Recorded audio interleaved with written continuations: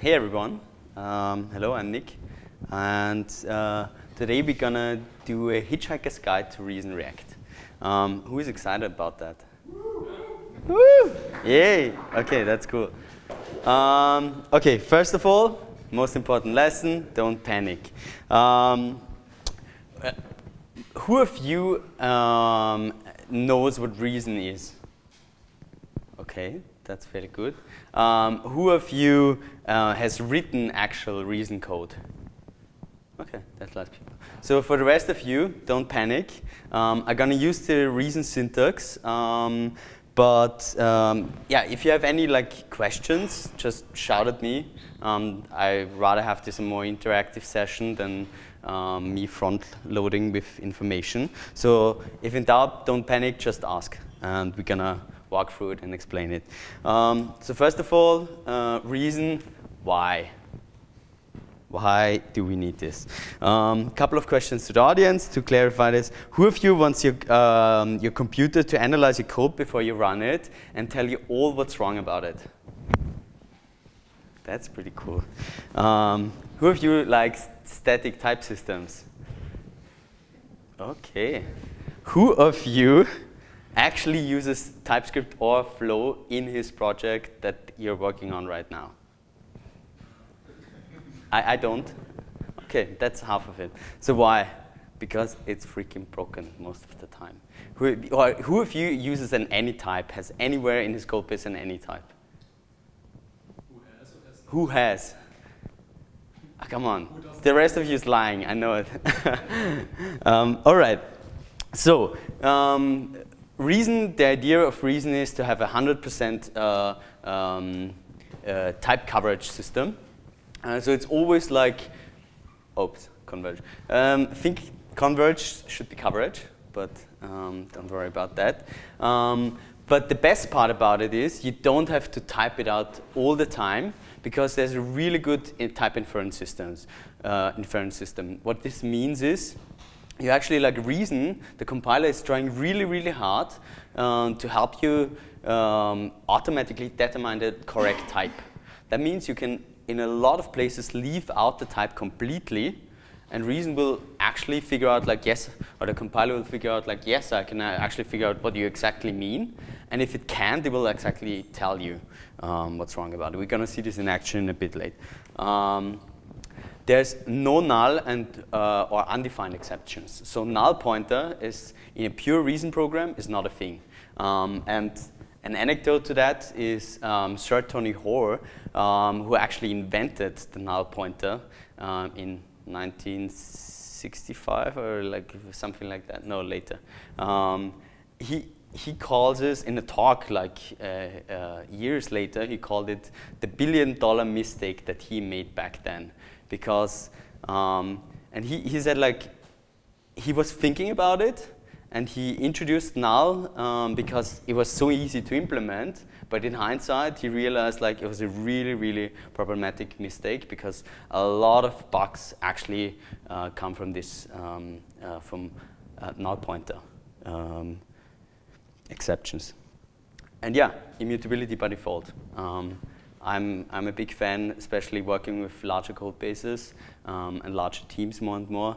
Then I realized like this is really, really helpful if you know exactly like this is not going to change um, and I can rely on that instead of somebody somewhere in code base actually changing a variable you have.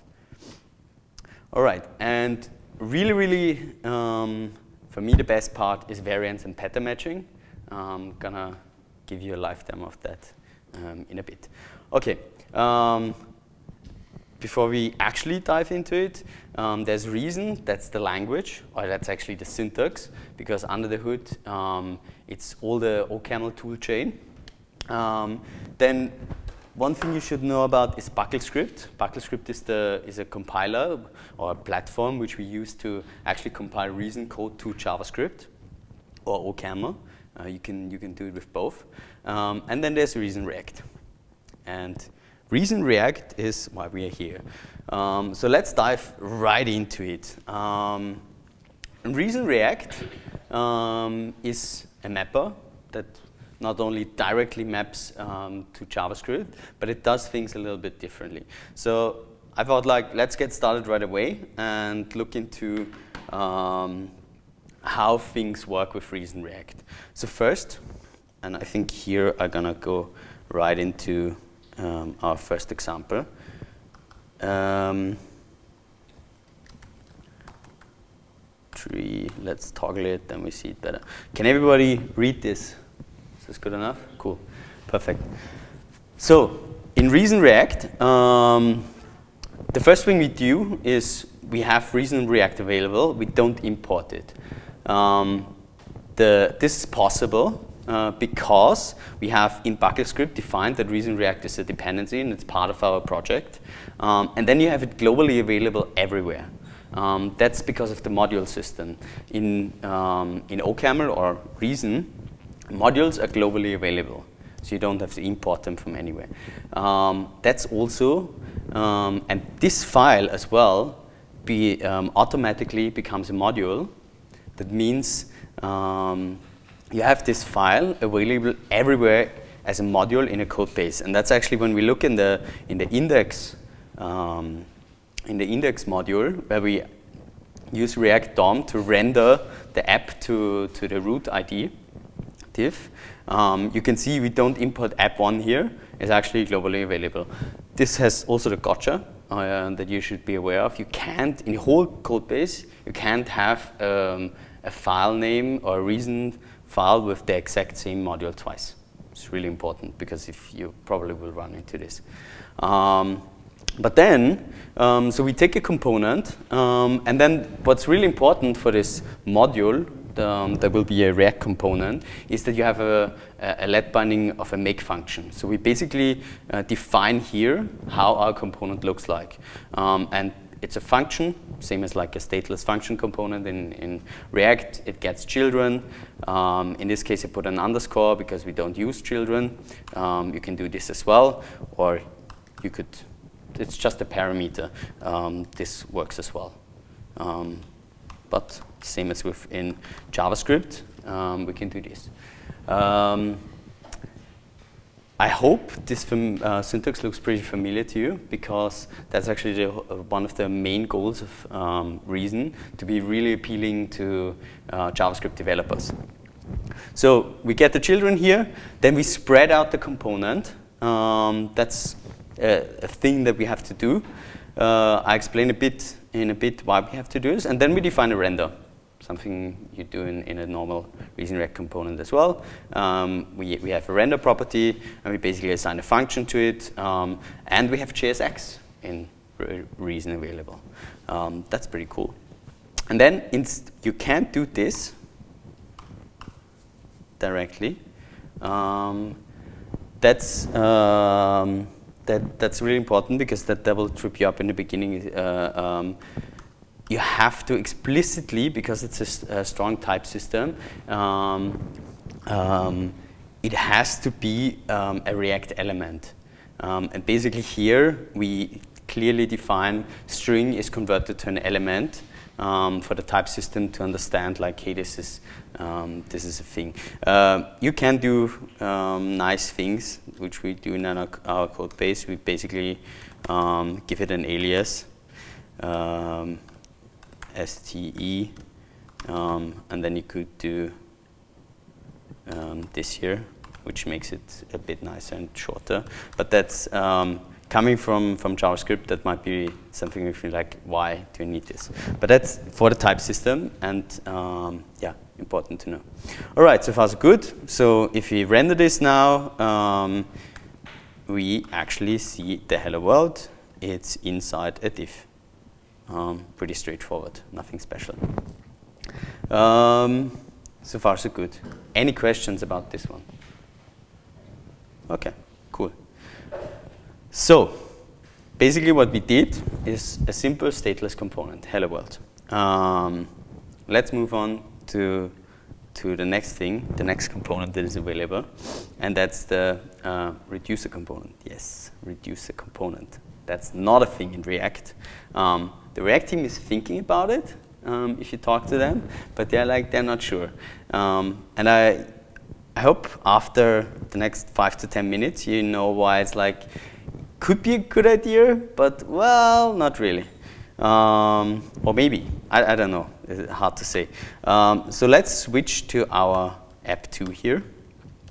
And there we have a reducer component, um, app 2. Uh, no, why are you, okay. app 2 is gone. that's bad.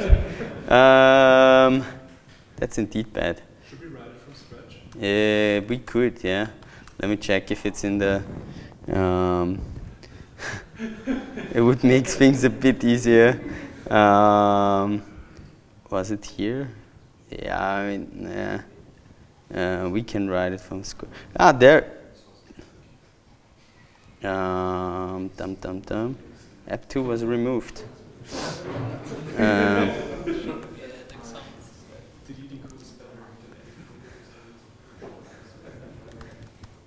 uh, let's do app 2. Cool. Uh, so here we have app 2, um, never gone missing. Um, I hope everything still works. No. Uh, well, it can uh, be, what? Found, uh, um, let's do a clean and then uh, yarn start. Booyah. Um, so that's also one thing. Sometimes it trips up because there are existing JavaScript files. We are still early, um, so the tooling is getting better, but this is one gotcha that, that we sometimes run into, um, that we have to clean out all the compiled JavaScript files. All right, so app 2, um, it's still there, yes, that's cool, is a little application um, that does magically, it's a counter. It's a really good example. Um, you can count up, but you also can reset. So, um, it's not that long, 27 lines, um, but there's a lot of stuff in there that you might not be familiar with. So, um, let's start with the first line, which is we define a type state. Um, and to actually give you an understanding what this means, um, I'm going to use the, the reason REPL rtop here. So this comes automatically if you, if you install the um, Reason CLI tools. And you can do simple things like you can um, basically run um, any kind of reason code. Um, but here we had uh, something. We defined a type state. Um, and that's something special about reason because um, this is where, when we define a, a, record, which we mostly familiar with, like similar to an object in JavaScript. Um, but in this case, um, we cannot dynamically create things. Like, for example, I can't do this in Reason um, because it's a strong uh, uh, type system. So we cannot say uh, name is uh, France. Doesn't work because the record field doesn't exist. But what we can do is we can, for example, define um, a type state and then we can say um, count. Uh, actually, let, let's do, um, we bind it to uh, my state, and then we say that's of type state, um, and then we do uh, count, let we start at zero. Pretty straightforward. What you can do, and that's where type inference comes in, and that's the really cool part is, um, you can completely leave out the type declaration. Because reason, in the current scope of this, in this case, like it's not a module, but it's the, the REPL, it knows there is um, this type um, state, and whenever you, whatever you create here, it only matches to that. So it assumes basically, hey, it must be of type state, and if, if not, then uh, make sure you explicitly declare it. Um, and what you can do now, for example, is if we define another type um, name, which is of type string. And here we say that's a person. Actually, give it, we give the, an age as well, is an integer. So we have a person, and if we now um, create Tim, I can say um, Tim's name is Tim, obviously, and his age is, let's say, he's 52. And then you can see automatically it figured out, well, when it has a name and an age, it can't be of type state, it must be a person. That's type inference. That's pretty cool. So um, records, these, these are records. Um, and basically when you define a state for an uh, for a reducer component, go ahead. So how does it throw when you say like my state uh, is uh, state equals count empty string? What do you mean? So, so Oh. Oh, yeah, yeah, we- we can- expects an integer. Yeah. You try to give it something else. Yeah, uh, let, us try it. That's always the best. Um, let's say we have Tim here, and we give Tim just a count, or Tim is of type uh, person, and we give Tim um, just a count, which shouldn't be possible. Boom, it will tell you with um, here that this is actually wrong because the field count does not belong to the type person. Um, what will happen is like, I mean, this is the REPL. What will happen with your, if you have this in, in your Bucklescript uh, project uh, or any other com, uh, OCaml or Reason compiler, um, it will actually not compile. So because it's a compile time error. yeah, absolutely. This is a, a compile time error, and we'll tell you like you can't do this. Um, there's two levels of, of errors, or basically you have errors and warnings. Um, errors are, are like things where it, it tells you exactly like this is absolutely not possible. But there's also things like warnings, which we'll see a bit later, where it tells you like you do okay. I mean, this is possible, but well, maybe you can do better. Um, yeah. So uh, how good is the stack trace of, of these errors? Uh, depends. If it says in, in this uh, specific part of that specific module, Yeah. I'm trying to say something that can't be done. Yeah. Is it able to tell me? Yeah, yeah, yeah. That's that's pretty good. What happens if you later on add a state B, which is also counting things? Um, let's do this. Um, so here we have a type. Um, uh, what B? Okay, whatever. Um, um, so, oh. oh yeah, sorry. Um, so we ha- so we ha- here we have B. Um, we still have state available because it's in the same context. But if I now do um, uh, this here, it will always refer, like the type inference will always refer to the latest um, possible, uh, latest uh, um, matching declaration that it can find up. So you could destroy your. Yes, you can do this.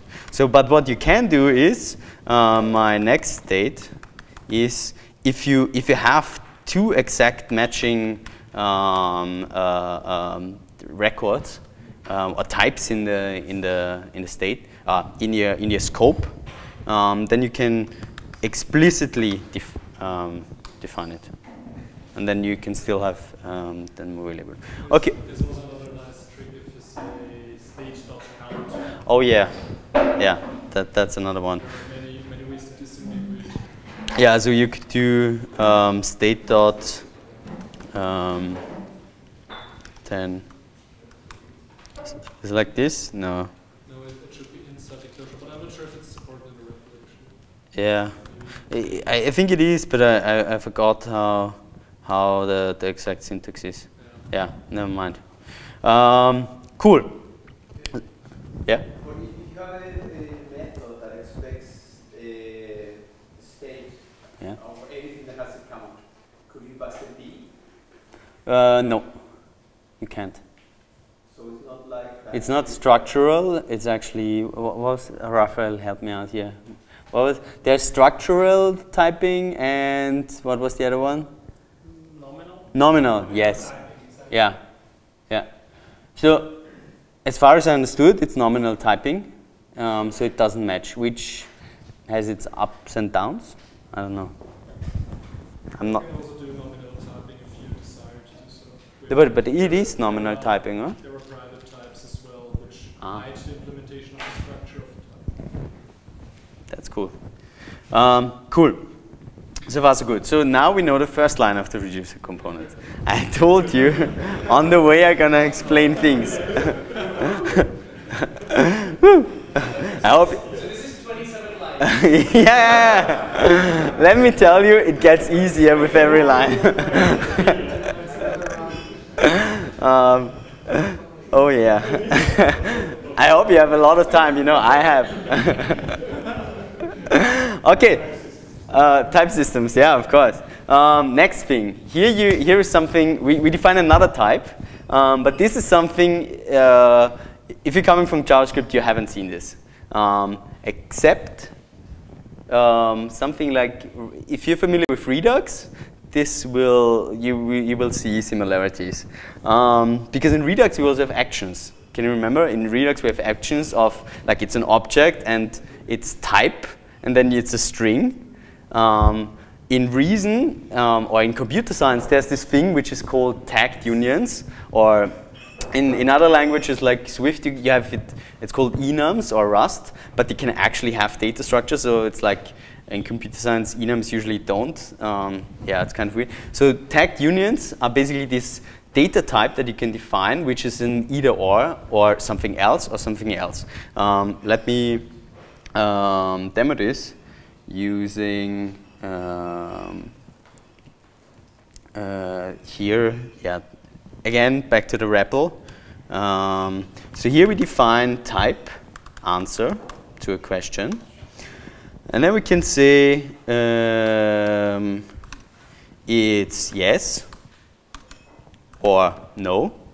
I mean, that, that stuff we can do with a boolean. Could be true or false. But what we can do is, it could be maybe as well.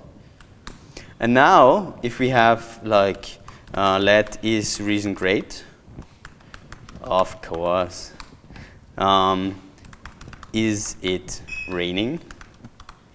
Uh, maybe. So why is this useful? Um, because what we can do now is we can use this with pattern matching. Um, let's say we define a message based on your response. Um, we have a switch expression, um, and we say is reason great, and then we can um, no. Uh, then we can match all the possible results. So we say this here uh, should be to KCA. Um, this here should go to the no should go to um, what nay? Good enough. Uh, yeah. um, yeah, you better keep uh, watching. Um, so, so you basically you can take this uh, data type that we just have um, assigned to is reason great, and you can um, convert it to anything else. The really good part about um, about pattern matching is that you have if you have multiple patterns um, and you forget one, which means not only forget, but if someone later on adds a case, um, the compiler will give you one of these warnings. It will tell you exactly like, hey, you forget, you forgot actually the case no. And this is really important because think about Redux, where you have um, you add one um, uh, one action type, and uh, suddenly like it should be covered in five different places, but you only cover it in three. Uh, and nobody ever will tell you like, hey, you missed something here. And this is exactly if you have these variants, these tagged unions as a native data structure which a compiler understands, um, you can do these things. Um, because the compiler will, will tell you exactly like, hey, something is going wrong. Yeah? Actually, the value of this, if you would define a function now with a parameter of the type message, Yeah?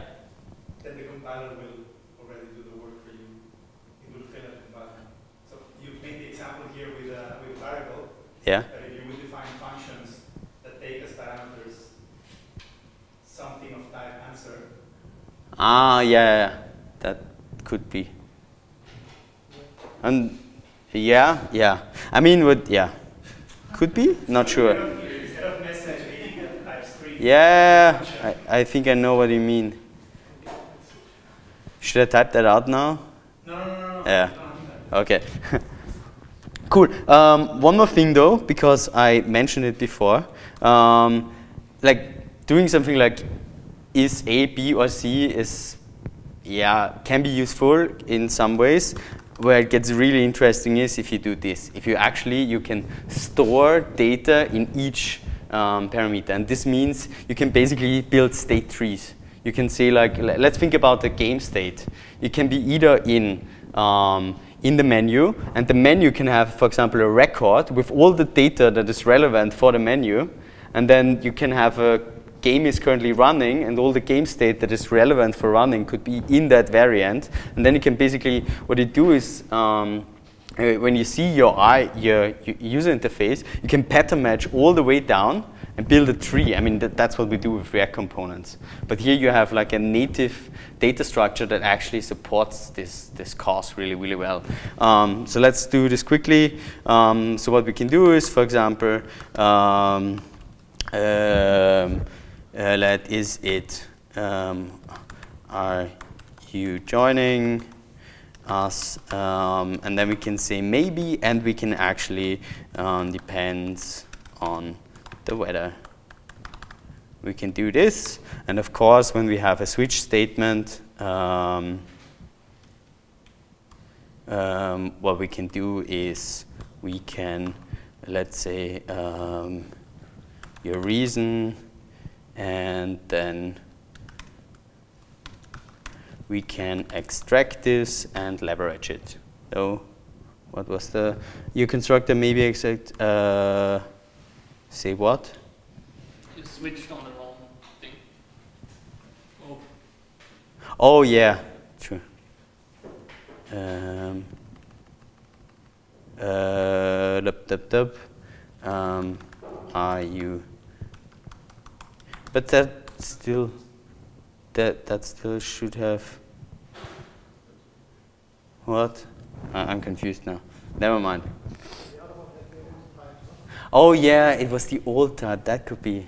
Ooh, that's a really good one. That's tricky. Um, okay, so far so good. Um, I told you it's getting better. Well, maybe not. But now you understand what this action means. So basically, um, and that's why it's a reducer component, because basically you have built in um, uh, Redux. Uh, just can you get it in? Yeah, cool. You basically have Redux available um, in like a really native way supported by the language inside our four components. So let's walk through the rest of the component. Um, we do with, huh? Exactly. um, that is easy, huh? it's a function call. cool. Um, so we have our counter, and then we spread it out. By the, by the way, we, we spread it out because um, we basically like component by default has all the functions defined. Um, and here we're just overwriting the ones that we need. And this is again, it's important for the type system because you need to have all the things available um, um, to actually match the, the signature of a React um, component um, with this make function. So basically we spread out this component, this reducer component with all everything it has. Um, then we define an initial state. It's pretty simple. It's a function, and we return our initial state. Um, and here it gets interesting because we have a reducer as part of the component. And um, the reducer accepts a function, it receives the action um, as well as the state, and then we can pattern match again on, um, no, I don't want that. Um, we can pattern match on, um, on the action. And in our case, the action only can be increment or reset. Um, it doesn't contain any data in this case, but that's fine. Um, and then what we can do is we can basically, um, based if it's increment, uh, we take the existing count and we increase it by one. If it's uh, reset, we set the count to zero. Um, pretty straightforward. Only 10 more lines to go. And here we have render. Um, looks pretty pretty similar to what we have. Um, I didn't use this helper SDE because yeah, just wanted to keep it plain. Um, that makes this a bit long. Um, but then what's really interesting is the button, um, and with the button we have an on-click, we get an event which we don't use, but um, we get self with render, and then we can basically, to the component itself, can trigger this action uh, increment, or we can trigger the action reset. And the result is that we can increment, or we can reset, we can increment, we can reset. Um, any questions to this? Go ahead. So you've got the event and all of these uh, private methods with the dangling underscore. Yeah. Uh, the self doesn't have it. Doesn't have it. Well, uh, yeah, the self doesn't have it at the moment. Yeah. Because it gets used, unused, so the self is used. Yeah. Yeah. So. So it's a used variable, it's just a convention. so the, there's also like if you if you have, for example, if you have children here, and we don't use it anywhere here, the compiler will warn us. So basically, that's a that's a pattern that you. So this actually has. This has me. This has meaning. Yeah. It's not just. Oh yeah, exactly. So this this has meaning in the sense that like the type system basically will will like the thing is you need it because um, you you get it and and uh, that has to do with currying, which I don't want to go into. Um, but um, yeah, functional programming. Um, but you need to accept the parameter here. Um, it's it's it's mandatory.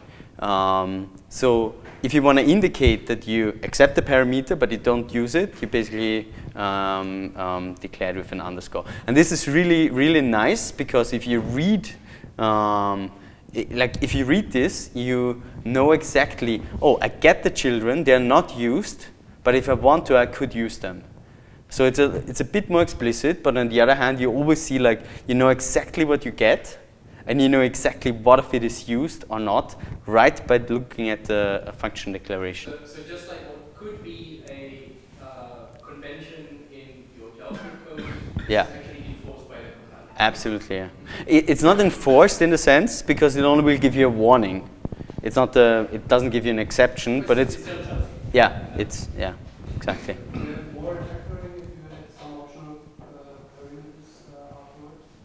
Um, well, we, sorry? And if you, if you um, add uh, some optional um, parameters, Yeah. some a few weeks ago, you need to refactor all your codes and add those parameters. Uh, It would fail. yes, exactly, yeah. You can, This is what I meant before, the reducer is taking the action. So the reducer is a function. yeah, So if you would change the definition, you would not deal with this case. Yeah. You would, your front end would not compile. yeah. So for example, if we, if we only set the count to, uh, to 10 all the time, then we do this here. Yeah. Because we don't use state. Yeah, And uh, so this, in the end, compiles to uh, JavaScript. React JavaScript that is run by the browser. Yeah. Uh, how do you control the version of React? Can I uh, fragment on this? Um, you just have a package JSON and you use React in there. Whatever React version you want to use, you, you get it in there. Um, reason React, in the same way, because uh, Yeah. fragment would be a component out of React, so I need to take it from the React reason. um, yes. Well, so uh, reason React is just bindings to the real React uh, JavaScript implementation. Um, so at the moment, um, that's actually interesting because uh, Fragment was introduced with um, uh, with 16.2, but the Reason React version, uh, the one that I have in here, currently doesn't have it. Um, so what I could do is I could either fork the bindings and add this fragment in there. Um, that would work, or I just wait until um, So there they get- might be a little bit of a delay. Yeah, exactly. Yeah, Yeah. yeah, that that works as well. Yeah. So bindings, I don't want to go into bindings. Maybe a bit. Yeah, let's see. I think we've run out of time, but um, so it would be similar like changing your own pragma if you're using yeah, it's it's really straightforward. Yeah, yeah. But um, that's actually one of the premises um, of, of Reason that like creating bindings to existing stuff is really really easy. I actually have an example, so we're gonna go into uh, into that in a bit. Um, uh, I mean, easy is always relative, but yeah. um, okay, you. Let me put in comparison. You haven't tried Elm yet. um, no, like uh, to, to be to be uh, to clarify, I really like Elm because like Elm is um, Reason is basically the the dirty version of it. You can break out of all of the the fancy functional uh, stuff. Um, Elm is very pure, like Haskell or so. Um, but yeah, if you like, I, am sitting in the office with, with guys. They they used Elm in production for half a year, year, um, and they they really loved the the development experience and so on. And then they had to implement um, like an editor, a proper one. They didn't want to do it themselves, so they wanted to create bindings. It was a horrible experience for them because creating all the bindings in Elm, like because Elm is so pure, it, it was a was hell for them. And in Reason, you can, I mean, you you're aiming for the same purity, um, but you can break out all the time. It gives you this opportunity to say like, well, screw that. That's I can break out. You, you don't want to do this, but you can and that's why why I'm really fond of it because it's like it's yeah it's this um, I don't have to buy in 100 percent. Can you show us how to do this? In in Reason React? Yeah. Uh, I, I will show you in a bit. Like any or I don't want to bind it yet. Uh, yeah. Because this is what I like. I was struggling with this a lot when I was working on the website. Because every time I wanted to pull an NPM defense, I had to type it before I could try it, and then I thought, no, I don't. I want to. I, I want to. I don't want to use it because it Uh. doesn't fit me well. So I need to like throw away all the typings. Uh, yeah, we can we can go into that. Cool. Just quickly, since you have uh, the package open, uh, looking at uh, 0.3.4, how often uh, does it change and how often does it break? Uh, I didn't track that, but uh, like, do you have an experience? How, how often does Reason React gets updated? One, once a month or no, no, or less?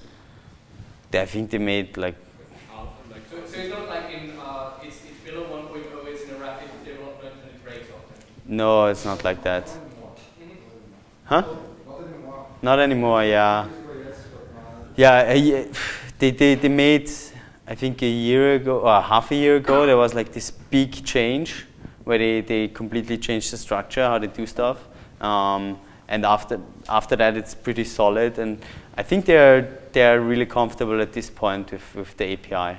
Yeah. There were some like like I mean what what you um, and these, these are some insights how, how they run, how they develop the whole thing is, um, let's go into the history. So Jordan Walke is the creator of React. Um, he um, did the first React version actually in standard ML, I think, SML, yeah. And then he showed it to, to his colleagues at Facebook and he was like, hey, what do you think about it? And They were like, well, I think that will take off. Then he rewrote the whole thing in JavaScript. Jordan was actually part of the team.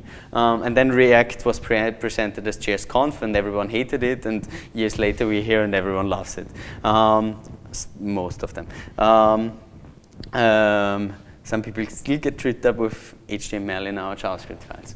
Um, and um, so Jordan was wa- for a long time on the React team, and at some point, um, he's basically what his goal was to make your UI development more functional. So he was taking it from this side to like, if you see like this is all the way functional, he wanted to bring like UI development um, in the browser to like get it more into a functional direction. And at one point he said like, okay, that's good enough. Um, let's try something else. We're actually gonna go from a functional language. We go the other direction. And now the Reason React is basically where they meet in the middle. Um, and um, and so uh, what they're doing at, uh, at Facebook, there's also Cheng, who's uh, on the Messenger team. Um, and they, they rewrote uh, more than 50% of the um, Messenger.com code base with Reason React. And that's how they actually um, the language and, and the libraries a lot forward because they have this large code base um, using Reason React and they, like in the beginning, they, they made some mistakes. API design, stuff like language design mistakes and so on. And now they, they're moving forward and, and, um, and they, uh, they basically developed the, the language a lot with like this one big project and a lot of the community feedback. Um, and I mean, a year ago, yes, there were so many breaking changes, but I, I, feel like for now it feels pretty solid. And also when they released uh, Reason Free, the, the syntax version free, um, I think they committed to half a year of non-breaking changes. And I think they're gonna continue in that way. And also all the changes we see at this point, they're like very minor. Um, yeah. Also another um, anecdote. So the, the teams are at Facebook are really working close, closely together.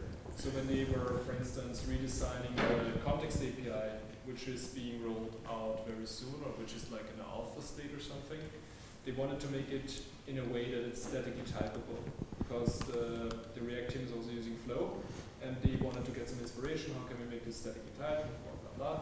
So they're really talking, they're actually sitting at the same uh, aisle, uh, table aisle, where they're like talking to each other and they're like, okay, maybe maybe we should design it this way so it's easy to typable in Reason as well.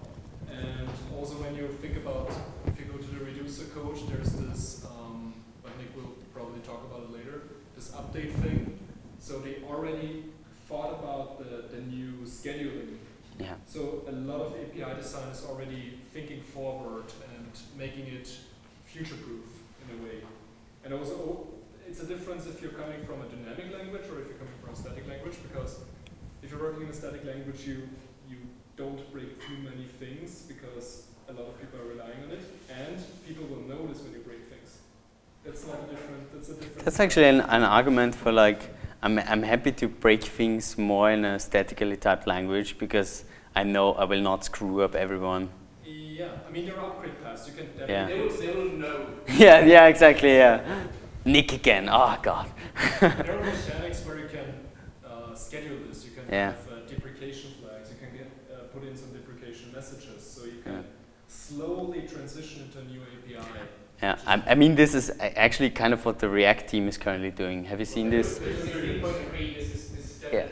going in that direction. Yeah, yeah, absolutely. I'm also doing this for some stuff. Yeah. I saw plenty of like deprecation stuff when we were in this alpha tree. Yeah. So we was like, hey, cool, yeah, now I know. Yeah, yeah, that, that's really good. developer perspective, it was pretty much amazing because we were like, oh, yeah, we didn't know about that, but now we know. We can, we can change. You can use different things. Exactly yeah. Yeah.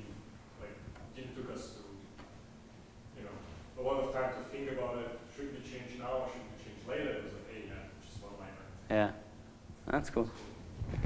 Cool. Um, let's move on. Um, so, you probably all know what about prop types? Well, we don't need prop types. We have a type system that's way better. Um, so here I have app free. Um, app free is just rendering a banner. Um, pretty simple. And here what I wanted to briefly demonstrate is how do I pass props through uh, one component to another. Um, yes, it looks exactly the same as like its typical JSX. Well, there, there's some minor change uh, differences in the, the uh, JavaScript JSX that you know and uh, the Reason JSX, but um, yeah, you will figure that out on the way when the compiler complains. The, the props. So here I have a banner. Um, and what you can do then is we accept this um, parameter for our make function. Um, so this is how we add um, um, um, a, a, param, basically. and then we can actually use this text here inside it. now you might wonder, like, what's that tilde here? this is weird. So the thing is, how do we get from like text. Let, us say I could have uh, um, something um, and then something. Um, like the order here shouldn't matter because that's what we are used to from, from JSX. So how can we deal with this? Um, uh, labeled parameters. Um, let me quickly define a function. Let's say we say increment. Um, I mean, you notice stuff, um, or um, here we have x, and then we have x plus 1, um, and then we can say increment. Uh, cool, um, that's result, that's perfect. Um, so, but what we can do now is, let's say we have um, a function let name, um, which accepts um, two labeled arguments. Um, it's the first name, and this is the last um, last name. What I can do then is I can say uh, first, uh, yeah, that should be first name, um, and then we have to do a space, um, and then last name. I think that should be fine. Yeah. So here, what we can do then is um, we can say tilde first name is Jane, um, and the last name is Doe. So we have Jane Doe. But with labeled arguments, um, or labeled parameters actually, um, we can flip it because we explicitly define the names of them. And this is exactly what uh, Reason React leverages as well. And that's why the order of passing down props doesn't matter. But because, so in, in JavaScript, we don't have this concept of label arguments, which we have in other languages. Uh, well, you can pass in an object. that's what. We, yeah. exactly. Yeah. Um, yeah. So what you can do here is you can flip the, um, the arguments, um, but because they're labeled, they still uh, get applied in a proper um, order. So you're still uh, basically saying it's a labeled? Yes. It can be anywhere? What? It can be anywhere? Absolutely. So if you remove the tilde in the declaration of the function, Yeah. it won't accept the second call, right? It will throw, it, it, it will throw. Uh, the labeled arguments have to, yeah. So why, so in this case, you can just pass two strings without labeling? Yeah. Even even with even if you have labeled arguments uh, like this, you could still do I'm trying to wrap my head around. Yeah. Why do you need tilde if you Right, so it, this is pretty much explicit. So this is like, this is first argument, this is the second argument. Yeah. But if I label them, so why do we need this special syntax? Is it coming from OCaml or why do we need this tilde? Well. w- Why we need it here? Yeah, in the, in, in the declaration, yeah. Oh yeah, because you well you don't really uh, in the declaration or in the Yeah, because you could just say first name without the tilde. So how is it different to tilde? I mean, what, what the tilde does? uh, the tilde makes sure like if if I have this one here, let's say if I if, Remove the second tilde. yeah. So what you can So here, like that that wouldn't work anymore because it's not it's not in this case it's not labeled anymore. So it tells you like, hey, this this doesn't work. You can only pass a labeled argument to a labeled parameter declaration. Yeah. So it enables the, The, the this exactly. operation in somewhere in the common. Yeah, exactly. Um, uh, let me check if I forgot anything. No, but that was really important to understand like why we have um, when we declare um, the props. Um, they're basically part of the function declaration then, and then we can use that stuff. Um, cool. Uh, let's go to app four. Um, Yes, yeah, that's app four. um, um, let's do app four. Um, in app four, I mean the, the, the important part of app four, uh, what I want to show you is actually um, static type system, I promised you it will never fail. Um, how do we actually get this done if I have a banner too, that where I pass in the text and where I don't pass in the text? Um, because that would basically in React, what would it would end up with, it's undefined or null. Um, I don't even know, is it null or undefined, the prop? Undefined, okay. Um, so, um, how do we deal with that in, um, in Reason React? Well, let's look at the banner. Um, we can mark a parameter as optional. This is a special syntax, and what it actually is using under the hood is, and now we go back to explaining the language again. Um, um, the language doesn't have null. I told that before. Um, so, but in some cases, like you need a way to declare like, I mean, if, if a user um, has the field age and the user doesn't declare his age, like you don't want to have an empty string, you want to somehow declare like the user didn't provide the age. So what do you do with that? Um, and the proper way to deal with that in functional languages and also in Reason is that you have something like, uh, which we call an option type. So basically, um, something can be of some value. Let's say uh, let's say we have an age. Um, so 42. So it's actually an option of type int. We could have declared this manually, that it's an option, but it inferred it automatically. What if we have nothing? Then we say it's none. Um, boom. So an option can be of type Some or none. And Some can be really anything. Like we can pass in a list of um, strings here. Boom. Um, automatically, it becomes an option of a list of strings. It inferred all of that because it only can be like that. uh, pretty cool. Um, so, yeah?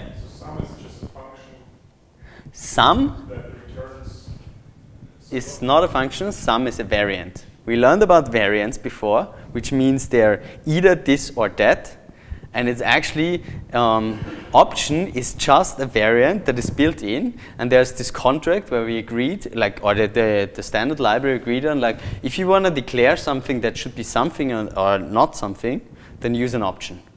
And we have um, even special syntax for that um, as we show. Because we can also type here that this is of type option and so on, but it's just a nicer way of, of saying like, hey, this text is optional.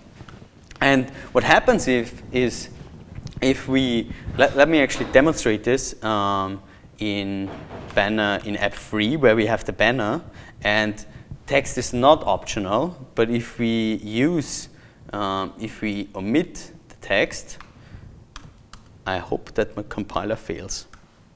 Yes, because it will tell us um, the call is missing an argument of type text. So we clearly, um, it's like usually what you, basically what we have in, with prop types where you say like is required, and then somebody updates the code base and forgets to add or remove the is required, and everything is completely messed up. Like here, it will, the compiler will actually not compile if you mess up. And you can always be assured that things work fine and correct. Um, cool. Uh, let's add our text back. We go back to app 4. And, but sometimes, yes, you need this option type. And then because it's a variant, what you can then do is, like with any other variant, you can um, do, like, I didn't bound it to a variable now, but we can say 42. Um, and then, um, um, like with any other uh, variant, we can pattern match. So we can say if case none, um, um, sadly, you missed the meaning of life. And if it's some, um, and then we can say an integer. Ah, yeah, sorry. Um, e, yeah, whatever. Um, string of int, um, and then we see e. Oh, in the REPL, you always need the uh, semicolons are important, but especially in the REPL. Um, in in my editor, um, I can omit the semicolon, and my reformat, which is the prettier of um, of reason, um, adds it automatically. So here I, I just remove all the same. Uh, could be. I mean, you. That could be. Um, but yeah, so so the, the the thing is we can pattern match because it's a variant, it's a construct we know, um, and now our whole code base, and that's exactly what we do here in our banner two. We basically say like um, that's desired behavior. If you if the text is not provided, um, we return don't panic. If the text is provided, um, then we define our non-null text because it can't be null. um, and the result is that we have this cool um, banner that sometimes you get a text and sometimes not. Uh, cool. Uh, let's, yeah? What's the difference then between non and non-defined? Uh, that none is a variable that you can match on, or like you, you have to, because it's pattern matching again, um, if you forget about this, I mean, this, if you get about this, um, you get the warning uh, that you forgot the case here, and it will tell you, hey, you messed up. Um, because it's only a warning, I mean, you could, um, um, uh, you could basically leave out that case, but I mean, if you have a warning and it tells you, hey, something is wrong, then don't be surprised if there's exceptions happening. Uh, um, yeah. So the, the, that's what I meant in the beginning with um, um, do you want our computers to analyze the code before it runs and help us and tell us what's wrong? Because that's, that's, that are static type systems, and static type systems can be annoying, but with type inference, it's actually pretty cool because I'm using very little type annotations here, and it all just works. Um, yeah. Because, so that, that's the cool thing, because I'm using here string to element, um, actually here string to element, it can infer all the way back the text must be a string. It can't be anything else because string to element accepts a string. And that, that's really, really advanced compiler building. Um, type inference, I love it. Um, but yeah, that, that's, that's pretty cool. I mean, in this case, you could even declare the type because it helps, but yeah, it's not necessary. Um, cool, let's, um, I would add one thing, the difference is that you're kind of forced to handle null case. So in the object-oriented form uh, program, this is where you always have if text is null, yeah. return. And here you're kind of forced to handle it a bit nicer. Yeah. Yeah, and Yeah. then the co- compiler tells you. in the Yeah.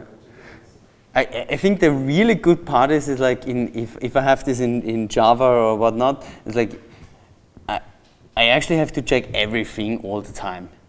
I, I usually don't because it's like yeah, I'm kind of relying it, it won't be null. I mean nobody's going to use this function with passing in a null, would be stupid. But um, here actually you can the compiler is checking for you. Nobody is so stupid to pass in null because null doesn't exist or any other thing or whatever. Yeah. It's like you can't even make this mistake. Yeah. I was just thinking of applications of this smart. Banking. banking. I hope banking should be done with something like this. No, I was thinking about like style guides and stuff like this, duplicate uh, things that, Oh yeah. that they used to generate. No, but I don't think it's gonna work What do you mean? because, well, you have to. So if you use uh, Reason React, none of these tools will will work because the prop types aren't here. So because the, the JavaScript code that is generated, it, it doesn't contain any information on types. Yeah. So it's got strict uh, of like compiler. So what I can imagine is like some special buckle script thing that compiles we have in JavaScript core right now, which is basically pretty much advanced, where Yeah. you can do the spinning style guides and stuff based on the code. It's not gonna work with this code, right? And this is something Mm. I, I just realized. and- I, think actually, How, how are we gonna solve this? Uh, I mean, the, the tools that are in the JavaScript world might not uh, work, but I, I actually would counter that that um, with a strong type system, you can build better tools. We, d- we don't have them yet, but yeah. to them, so yeah, that totally. be- so that's the reason for me then I say, It's gonna be you and me. how my tools that aren't working. Uh, so, what I can- so how do I convince my, my team to switch and stuff like this? Yeah. But are, are you saying that because there is no null, you cannot represent the style? No, because we're no prop types basically, because the information of, of on types is missing. Well, uh, wait, wait, wait a second. You can easily compile. Huh? Oh yeah. Uh, you mean this one? Uh, uh, let, let's do the banner. That's probably the easiest one. Um, see here. Yes, it's just a function only, where is no prop type thing. Yeah. Mm, But so. Um, Uh, I can go a bit deep because of carte blanche. I can go deeper in here. Um, so every tool out there, as far as far know, um, that is analyzing prop types or Flow or TypeScript. I think they only do Flow or type, uh, TypeScript. I don't know, um, but it's called um, react-docgen. Yeah, yeah. Okay. And this tool can understand flow types. So what we can do, what Jordan Walke is currently working on, is to generate flow types based out of um, Reason types. So basically, once he has that up and running, we can generate the flow types um, for each component, and then you have um, with docgen you can use Styleguidist again. Cool. So it's- Is it gonna work? Yeah, I think so. I mean, because whereas this discussion doesn't match one to one to.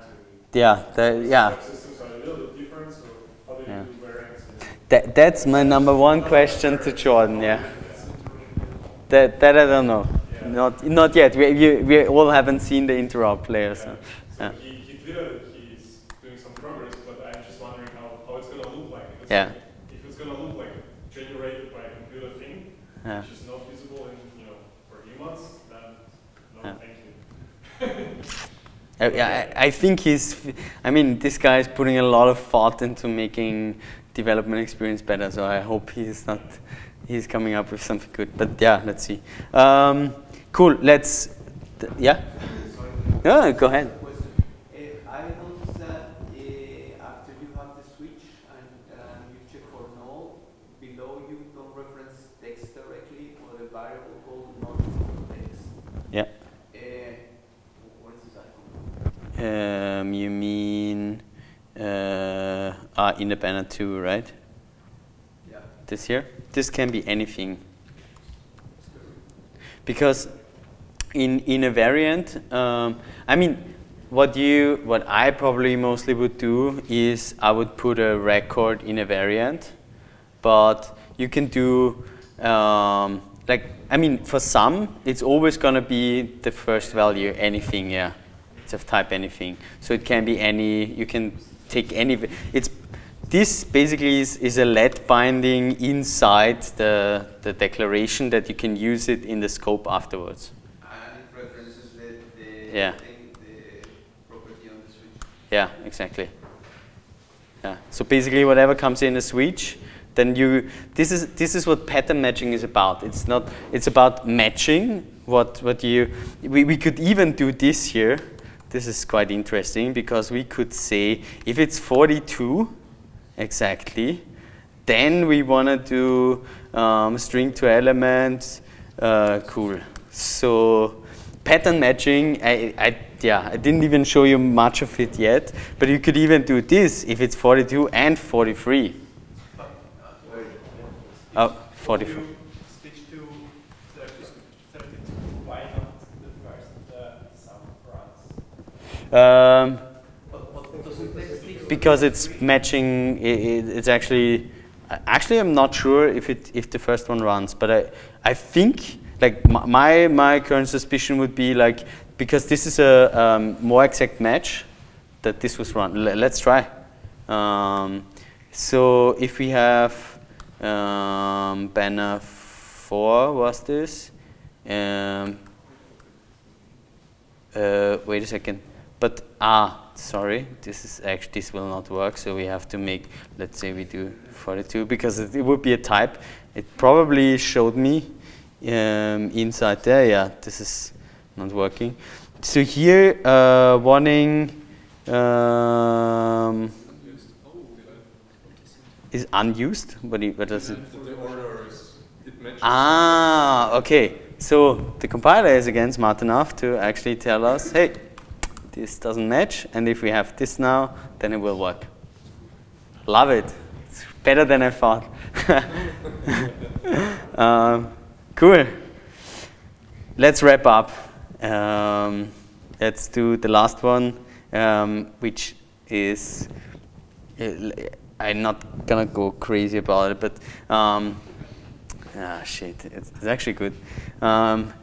Let's say you wanna use an existing React component yeah, that is written in JavaScript because all of our code bases run currently are JavaScript. So we can do this as well. Um, with BuckleScript, we can do bindings. like the syntax is easy. Andre is not here anymore, so we can say that. um, it, yeah, it, I mean, you have to get into it one time, really dig deep, understand what's going on, and then you, you, you get comfortable with it. I'm not comfortable with it yet. I, I, still have to go through all of that. But basically what we can do is, um, there's this UI library called Rebass. Um, it's on NPM. It has a bunch of React components. Here we have the arrow component. It accepts one um, prop which is direction should be of string. Um, let's get this into our um, reason code. So we simply have it in package JSON. My God, auto completion doesn't work anymore. Um, so I installed Rebass. Um, that's pretty cool. And then I can basically make an arrow, uh, uh, make a binding for this arrow component. Um, it's in the Rebass module. We can say, I want to get uh, out the React class arrow um, and bind it to my JS arrow. Um, and then I can simply use a function that is coming with wrapJs for uh, a reason. I pass in the React um, class, which is my JS arrow. I um, define which are the properties properties is direction and basically map directly. And this is also really important because if you screw up here, um, I mean, or there's there's things where type the type system can go wrong. Because if you say direction should be of type integer, but the React component under the hood expects a string, then like this is exactly where you screw up. And this is exactly where um, where I wanted to show Andre, like you can do anything here. You could basically create a, a, single component case where you do whatever mapping, however you want to like, um, and it could be completely bogus. Um, but yeah, that, that's a workaround what you can do.